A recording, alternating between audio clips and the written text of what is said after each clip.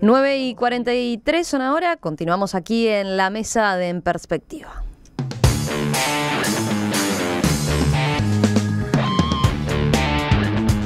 Continuamos en esta mesa particular de jueves, donde la mayoría de los integrantes son debutantes. Roberto Lafluf, Patricia Madrid y Gustavo Robaina. Y a Florencia Pereira, que sí, ya la conocen los oyentes porque participaba anteriormente en las mesas.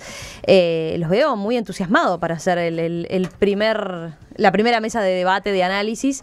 Eh, los veo con todas. Vinieron como, como recargados, así como la, mesa de los jueves, como con Valente, con Mercader, con...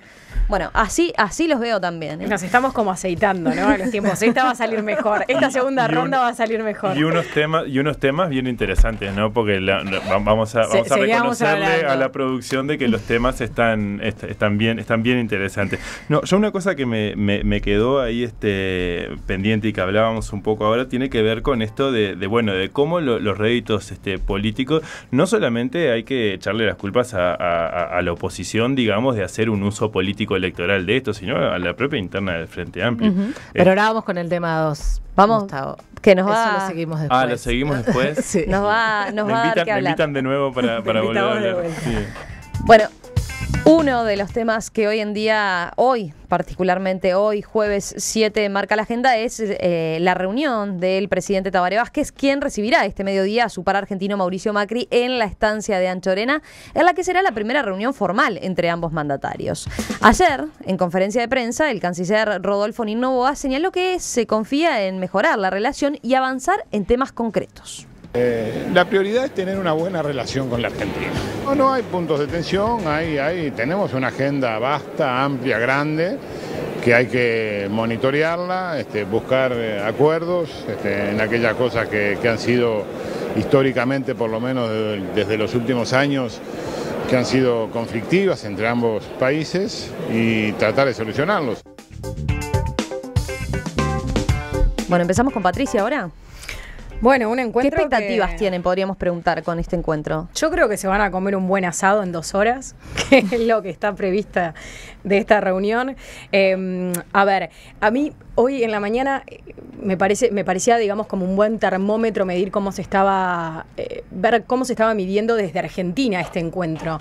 Entonces eh, fui a fijarme a los diarios referentes en Argentina, La Nación y Clarín, qué era lo que estaban anunciando, ¿no? Cuáles eran las propuestas de Macri y su equipo de gobierno ante la reunión con Vázquez. Bueno, pero este, para mi sorpresa me encontré con un diario La Nación que tiene apenas una nota eh, realizada por el corresponsal eh, de, La Nación aquí en Uruguay, Nelson Fernández, así que es la visión de un periodista uruguayo acerca de las expectativas del gobierno y la administración de Tabaré Vázquez para con el encuentro. ¿En serio?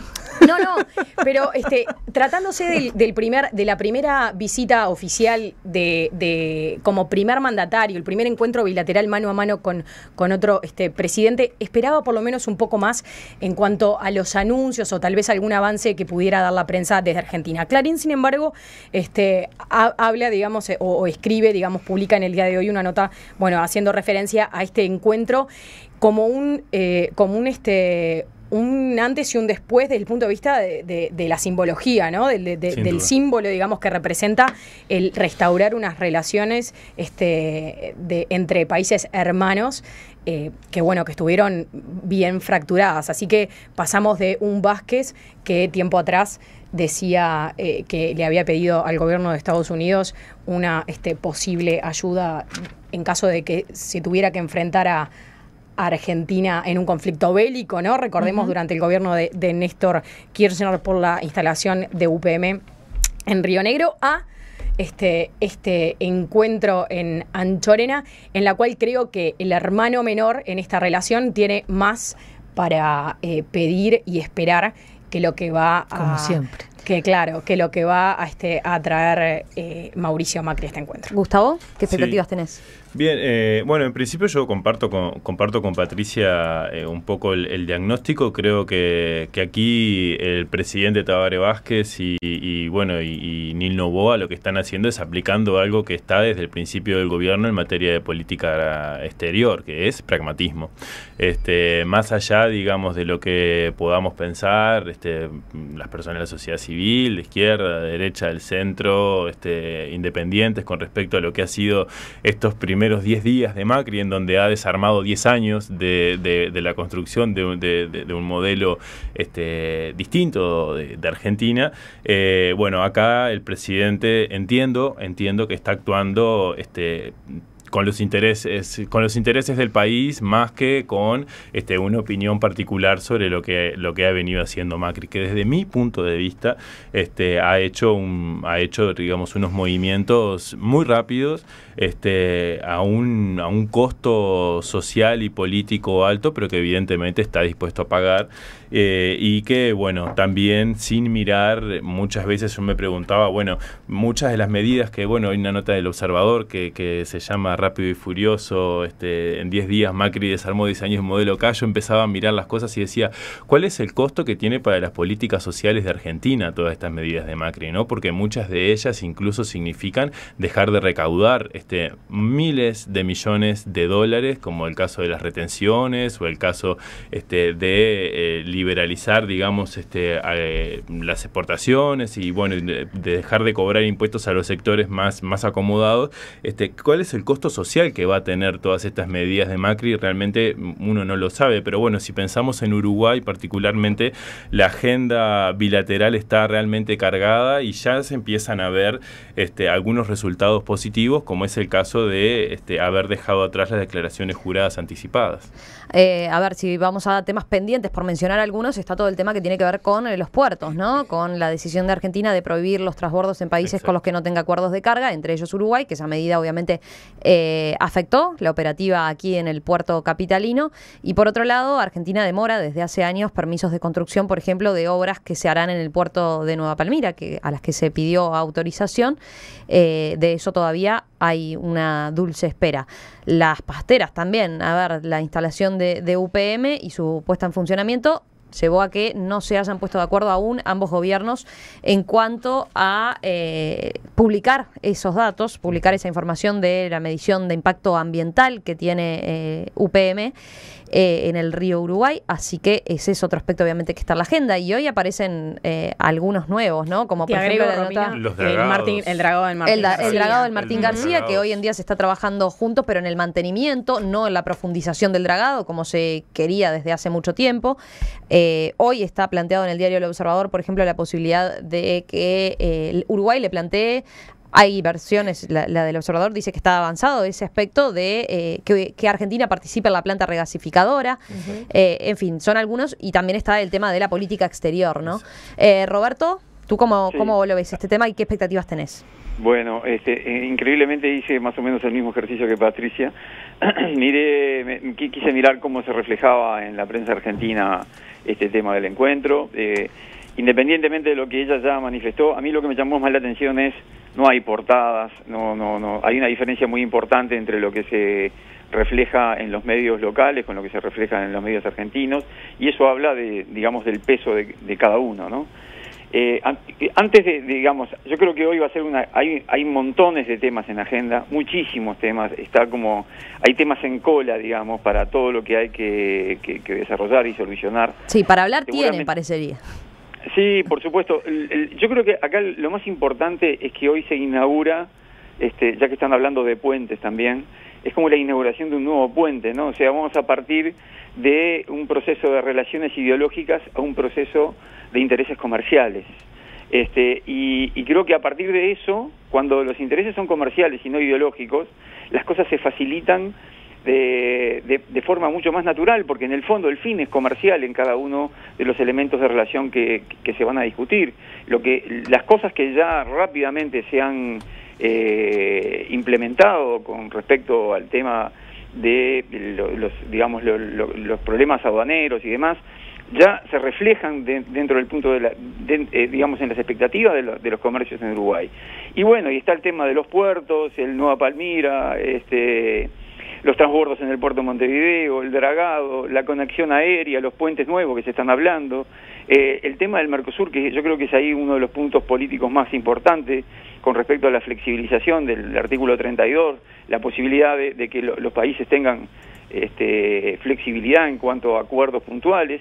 Y sobre todo yo creo que lo más importante es el tratado con otros bloques. Hay una voluntad entre, digamos, esta nueva fuerza que viene tomando, ojalá eh, retome el Mercosur, respecto a interrelacionarse con otros bloques y que eso genere una nueva apertura. Por último, yo quiero hacer una puntualización que me parece súper importante.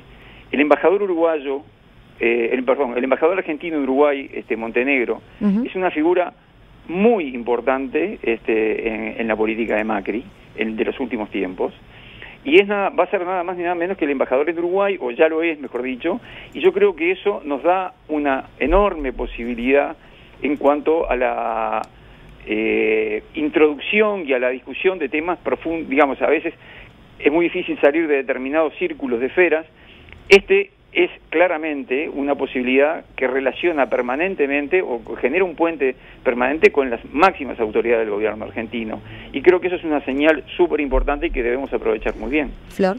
Sí, yo me, sumo a este tema de, lo histórico y retomando el tema ideológico, es decir, el tema si había cercanía ideológica, vamos a decirlo, porque hay discusiones dentro del Frente Amplio qué tanta cercanía había con el modelo K, realmente no nos sirvió de nada, porque eh, desde el que asumió Néstor Kirchner y luego pasando por Cristina, con aquel famoso La vieja es peor que el tuerto, que incluso se habló en su momento, fuentes decían que Cristina llamó a Timerman diciéndole vamos a hacerle la vida imposible a Uruguay y no sé, es decir, eh, no, supimos si esa conversación existió, pero después todas las medidas que vinieron parecía que se estaban haciendo, ¿no? Todo el tema de, los puertos, ¿no? Todo lo que se vino después parecía que realmente iba hacia, hacia nosotros, ¿no? Entonces, la cercanía teórica e ideológica que puede haber no nos sirvió de nada. Es decir, Cristina eh, trató muy mal a Uruguay, eh, tanto así, y con Vázquez no había nada de sintonía, tanto así que fue histórico que ella no viniera a la Asunción de Vázquez. Me acuerdo que con, hablábamos con Rosendo Fraga, el politólogo, y él decía, esto de que un presidente no vaya a la Asunción, eh, de, ya sea que el uruguayo no va a la del argentino, el argentino no va a la del uruguayo, es de absoluta eh, de estrato y, de menosprecio ¿no? a, la, figura del, vecino. Eh, en cuanto a lo que el análisis que hacen de que les sorprende, a mí sinceramente no me sorprende que ellos no nos den pelota. Siempre fue así. Históricamente. Nosotros siempre estamos atrás y, tenemos como no esa eh, como esa esquizofrenia entre que los criticamos pila, pero pero lo más visto acá en Uruguay. además acá somos los que estamos esperando, ¿no? Por todos los temas que tenemos en agenda. pero, también pero también a nivel cultural, ¿no? Es decir, es como Ah, bueno, nosotros eh, los criticamos, lo criticamos, pero el programa más visto es argentino, la, viene una figura argentina acá, igual aunque sea de tercer nivel, y, y, y chao, y estamos como todos ahí atrás de eso. Y, el, y el otro, lo otro que quería decir en cuanto al tema de Macri Vázquez, Vázquez en una entrevista que le realizaba, realizaba el semanario Voces y le preguntaban concretamente sobre qué opinaba sobre Macri. Él decía, le, quiero dar tiempo. Yo creo que hay muchas de las políticas que él plantea que no son necesariamente de derecha, que tienen como una cuestión progresista, ¿no? Como que le daba ahí Vázquez puede llegar a tener problemas con su fuerza política, con, problemas con una parte de su fuerza política, que ha sido totalmente terminante con eh, darle a Macri con todo. Es decir, no importa si empezó o no empezó, ya ganó, no me gusta y, vamos para atrás. Y un tema más que, quiero retomar es el tema Mercosur. Cuando la cumbre en mayo, cuando se reunió, no fue cumbre, fue el primer encuentro bilateral entre Vázquez y Dilma, después de que Dilma había eh, ganado, eh, ahí se planteó el refundar el Mercosur. Y se suponía que eh, Dilma iba a hablar con Cristina en ese momento. Y me acuerdo que le preguntábamos a Vázquez, bueno, ¿no se va a esperar mejor con el tema de la Unión Europea a que haya un cambio en el gobierno argentino? Y le decía, no podemos esperar. Bueno, finalmente este cambio se dio. Si hubiera sido Scioli, yo creo que también había, había un cambio. Y yo creo que Argentina y Uruguay, dado lo que le está pasando a Brasil, juntos hoy pueden liderar el, el relanzar el Mercosur. ¿Por qué? Porque Dilma está en un momento político y económico tan, tan complicado que de alguna forma el ser tan gigante le está jugando en contra y si Macri logra eh, hacer tener la gobernabilidad que necesita, ¿no? Puede unirse eh, Uruguay y Argentina para tratar de reflotar ese Mercosur que ha sido tan vapuleado. Patricia. No, simplemente iba a agregar este, lo que mencionó recién eh, Florencia, eh, que se, puede esperar si un, algún tipo de anuncio o algún tipo de avance en cuanto a un acuerdo de Tratado de Libre Comercio Mercosur Unión Europea, siempre y cuando Argentina, bueno, eh, de alguna manera eh, acepte o se resigne al hecho de que la Unión Europea eh, prioriza los productos agrícolas de los 28 países que, que, la integran, ¿no? Este, y es, ese es uno de los, de los puntos más complicados para Macri este, de aceptar en, algún momento cuando se le, se le preguntó al respecto. Pero lo cierto es que Vázquez ya manifestó este, un, un interés bien, este, bien importante al respecto. Vamos a ver a ver qué es lo que, qué es lo que ocurre, pero este tema va a estar sobre la mesa sin dudas. Sí, eh, dos cosas. Yo creo que también hay un tema de la geopolítica y el rol que está jugando Uruguay en, otra cancha que sí, es muy importante eh, el, cómo vienen las negociaciones con la Unión Europea a nivel del Mercosur, pero también recordemos que este año nosotros tenemos la presidencia del Consejo de Seguridad de Naciones Unidas y ahí, digamos, creo que Vázquez y Nil Novoa han llegado, digamos, a ejercer una diplomacia este, también eh, que es necesario construir una posición latinoamericana. Este, y en ese sentido me parece que la reunión con Macri no va a dejar este, ese tema fuera de la agenda porque a Uruguay necesita evidentemente un respaldo político a nivel del continente que le dé fuerza para ejercer un rol tan, tan, tan importante como es el del Consejo de Seguridad de, Naciones Unidas. Y bueno, otra cosa que también quería decir es una preocupación, ¿no? Y que tiene que ver con esto de que yo realmente, eh, yo creo que Uruguay Uruguay eh, necesita velar por sus intereses, ¿no? Lo necesitamos y ahí creo que hay que dejar un poco este, de lado a veces cierta, cierta ceguera con respecto a defender un modelo que sistemáticamente nos pegan, ¿no? Es como aquello de, bueno, te pegan y vos te lo seguís queriendo, te pegan y seguís queriendo. No, bueno, da, basta, no te quiero más, ¿no? Y creo que eso eh, tenemos que darnos cuenta que nos pasó con, con el modelo acá. Ahora, de alguna manera lo que sí me preocupa es que las relaciones entre dos países se terminen definiendo por aspectos netamente comerciales comerciales. Y ahí hay una preocupación hasta, hasta dónde va el pragmatismo, ¿no? Porque yo creo que si no hay una orientación política clara de hacia dónde vamos, este, como, como, bueno, como gobierno de izquierda en el caso de Uruguay, en el caso de Argentina, un gobierno que se prácticamente uno dice no, no, tiene, no tiene pelo político, porque si solamente es la gestión. Y yo, a mí eso me, me preocupa un poco, digo, porque las relaciones comerciales son importantes, pero si uno no lo orienta políticamente, ¿Qué nos queda? Roberto, para terminar sobre este tema. No, este, yo creo que hay, entiendo lo que dice Gustavo, pero lamentablemente la naturaleza que mueven, digamos, todos los elementos que están asociados a, los vínculos son comerciales. Entonces, cuando los vínculos comerciales se tratan con interés comercial, las cosas se facilitan muchísimo. El problema es que cuando esos intereses eh, comerciales se condicionan de alguna manera en función de los intereses ideológicos o políticos o de relacionamiento personales, a tal punto que, por ejemplo, yo creo que esa relación personal, que en, determinado momento ideológicamente eran compatibles, terminaron primando lo que, lo, lo que en realidad prácticamente generaron este, una dificultad entre, entre las relaciones de presidentes que se reflejaban en toda la sociedad. Esos son los problemas que de alguna manera este, afectan este tipo de, de, digamos, de, tratados y de relacionamientos. A mí me parece que es muy sano, es muy bueno. Hay una, me parece que hay un gran entusiasmo de todas las partes en, en poder eh, encaminar una serie de elementos que, por supuesto, que a Uruguay le pesan probablemente muchísimo más que Argentina, la mayoría de ellos. No digo que, que Argentina no, pero que tenemos acá en este, en este proceso una eh, oportunidad muy importante que yo creo que Vázquez ha cambiado, que ha, que ha, se ha alineado completamente a este a este nuevo proceso y que ojalá que lo aprovechemos, digo, desde todo punto de vista.